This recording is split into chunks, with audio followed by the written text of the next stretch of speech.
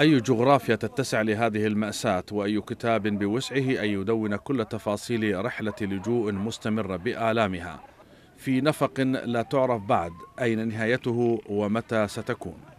سكان محافظة إدلب في سوريا نازحين ومقيمين لم تحمهم خرائط خفض التصعيد ولم يجدوا في هذا العالم المطلع على هذه المأساة.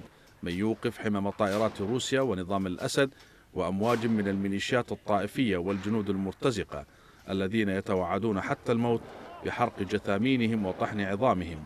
فما بالك بالأحياء؟ نحن هون أربع عائلات وجتنا عائلة صرنا خمس عائلات وهلأ جينا على الطريق ما بنعرف هي عائلة تنتين الله أعلم ما بنعرف الله يجيب لنا إياهم بخير وسلامة.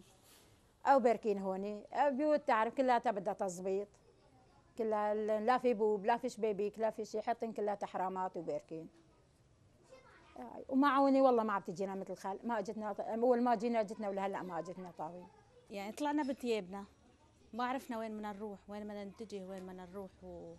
بس واحد بده يهرب يعني كيف ما كان على الأقل يعني ينفض بروحه.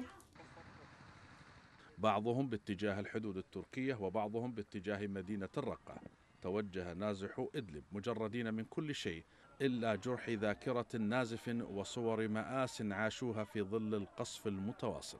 كل بيت يعني دخلت عليه أكثر من عائلة يعني الأهالي اللي موجودة سابقا استقبلت هاي الأهالي الجديدة.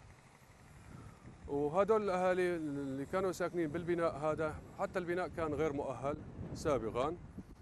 ويعني البيوت اللي هون بتضم أكثر من أربع عائلات أغلبيتها أو أحيانا توصل لسبع عائلات والبناء غير مؤهل. كثير من نازحي إدلب مروا بعدة تجارب نزوح إذ صارت المحافظة التي تضم أكثر من أربعة ملايين شخص ملجأ للمعارضين لنظام الأسد الذين هجروا من درعا وريف دمشق وحمص وحما.